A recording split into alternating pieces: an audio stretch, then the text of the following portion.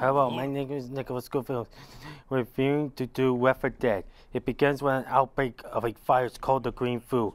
It happens in Pennsylvania in 2009. The virus causes the sick to become extremely aggressive and mutates their cell, all of their brain functions are lost, turn into mindless zombies. The game follows four immune survivors, a green beret, a college student, a manager, and a biker. They have to fight together against the affected horde who escaped the city, but the virus keeps mutating.